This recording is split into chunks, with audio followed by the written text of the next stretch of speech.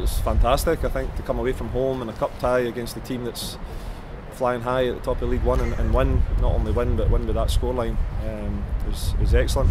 I think you know scoreline aside, the performance of pretty much every player on the pitch was was a joy to watch.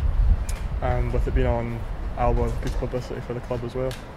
Absolutely, that's you know the first time the club have been on live TV, and you know who knows how many were watching, but hopefully a lot of people enjoyed the game. And a lot, of, a lot of times you maybe look at teams in League Two and think, you know, what's the style of football like? But I think we showed a few people tonight that we, we like to try and play.